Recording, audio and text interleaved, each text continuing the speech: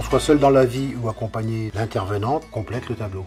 Il a fallu, dans les premières euh, interventions, que je lui précise ce que j'attendais d'elle.